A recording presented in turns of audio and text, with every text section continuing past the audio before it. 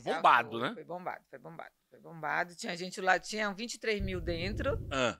e tinham, acho que 12 mil fora.